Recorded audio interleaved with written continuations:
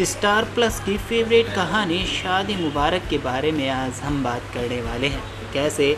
आप सभी को बता दें कि कहानी में आप देखने को मिलेगा कि केटी तरुण को जवाब देता हुआ नज़र आने वाला है, क्योंकि केटी के सामने प्रीति जिंदल सारा सच बता देगी, उसके बेटे और बहू उसके खिलाफ़ क्या क्या करते हैं, जबकि केटी को पता तो है लेकिन वो घर के मामले में बोलना नहीं चाहता। लेकिन अब जब केटी और प्रीति की नज़दीकियाँ बढ़ती हुई नज़र आ रही हैं तो अब केटी अपनी प्रीति के लिए बोलते हुए नज़र आएँगे और तरुण को करारा जवाब देंगे। दूसरी तरफ़ प्रियंका के सामने तरुण की सच्चाई जूही ले तो आई है, लेकिन अब प्रियंका कैसे जवाब देती है तरुण को ये देखना काफ़ी दिलचस्प होगा, क्योंकि हर फैंस यही चाहता है कि प्रियंका तरुण को करारा जवाब देकर कहानी को पूरी तरह से ख़त्म कर दे। यानी कि तरुण जो सोच रहा है कि उसकी माँ हारेगी, वो हारेगी नहीं, बल्कि जीत कर दिखाएगी। तो फ़िलहाल के लिए बस इतना ही। बाकी की तमाम अपडेट्स को जानने के लिए बने रहिए मेरे साथ।